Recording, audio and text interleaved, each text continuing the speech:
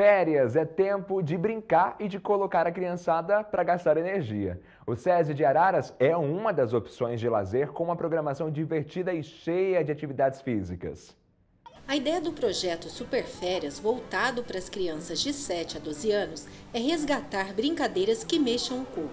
Nesta tarde, 60 crianças participaram de duas atividades, uma na piscina e outra na lama. Nem a chuva atrapalhou a empolgação delas.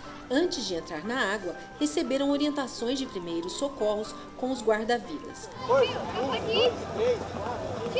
A gente já brincou de rouba-bandeira, de queimada, vôlei, é, um monte de coisa super legal. E eu prefiro ficar aqui do que em casa. Aqui tem vários amigos, a gente faz amigos novos.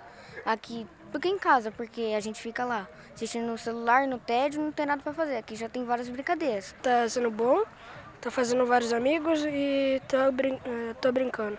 O foco é deixar o sedentarismo de lado. Muitas crianças, porque por ficarem muito, é, de frente né, é, da televisão, do celular, computador, eles ficam muito tempo parados, então desenvolvendo um pouco do sedentarismo também.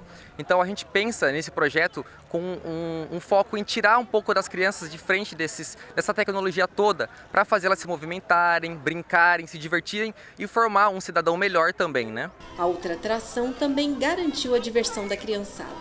No plástico molhado, os pequenos escorregavam e caíam numa poça de lama. Pela carinha delas, dá para ver que a brincadeira agradou.